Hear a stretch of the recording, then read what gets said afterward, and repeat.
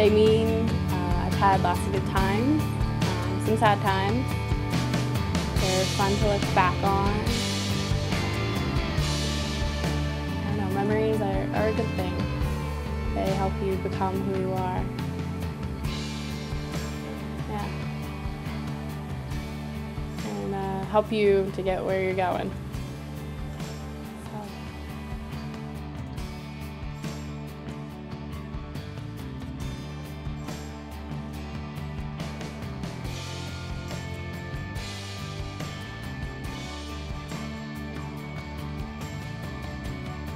My memories mean everything to me because they they remind me of my past loved ones and they help me get through the day and during tough times.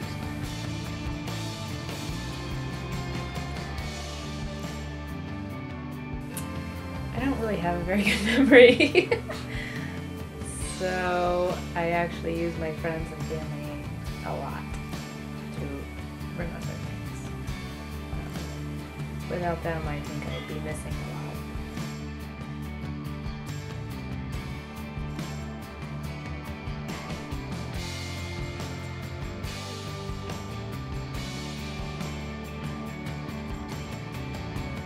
Whether it's like a year later or at the end of your life, or just how you're going to view yourself and what you're going to think of yourself. They help you make decisions that are tough decisions. And yeah, I guess they just help you know what to do and know how to judge things.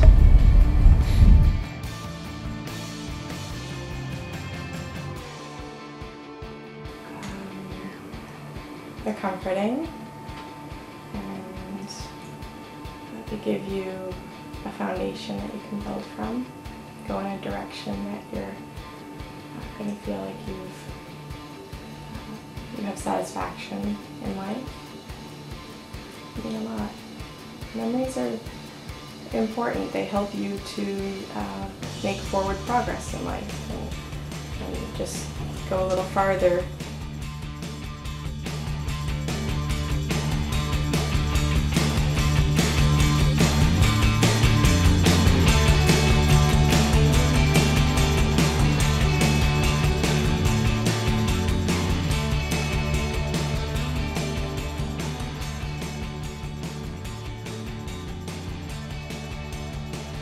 My memories mean everything to me. It makes me who I am.